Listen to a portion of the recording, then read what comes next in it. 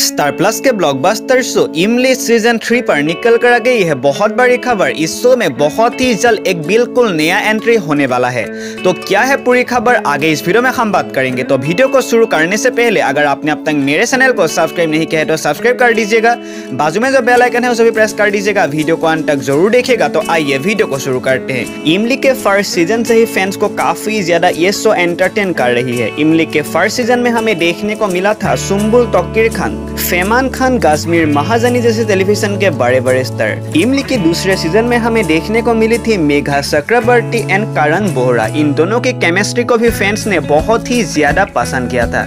इमली के third season में हमें देखने को मिल रही है अड्रीजा रॉय एंड आपके फेवरेट साई कीर्तन राव इन दोनों की केमिस्ट्री को फैंस बहुत ही ज़्यादा पसंद करे। इस शो में हमें अड्रीजा रॉय इमली के रोल में और आपके फेवरेट साई कीर्तन राव इस शो में हमें अगस्त के रोल में नज़र आ रही है। अब इस शो पर बहुत बड़ी खबर निकल कर आई है कि इस शो में बहुत ही जल्द एंट्री करने वाले हैं। टेलीविज़न के बड़े स्टार खबर ये निकल कर आई है, अभिषेक शर्मा इस शो में एंट्री करने वाले हैं और वो इस शो में एक पॉपुलर क्रीडर को रिप्लेस करने वाले हैं। अभिषेक शर्मा तो enter in Star Plus Imli season three he will replace a certain character in the show उनका जो क्रीडर है इस शो में काफ़ी ज़्यादा इंपॉर्टेंट होने वाली है, ऐसे खबरें निकल कर आई है। उसके साथ ही स्टार प्लस के शो इमली सीज़न थ्री को फैंस बहुत ही ज़्यादा पसंद कर। रहे ये शो टेलीविज़न की ऑल शोज़ में नंबर सेकंड के पोजीशन पर है। लास्ट वीक तो इस शो के टीआरपी में हमें बहुत ही ज़्यादा इंप्रूवमेंट देखने को मिला था। लास्ट वीक इस शो का टीआरपी 2.1 निकल कर आया था और ये शो नंबर सेकंड के पोजीशन पर था बीआरसी के टीआरपी में। उसके साथ ही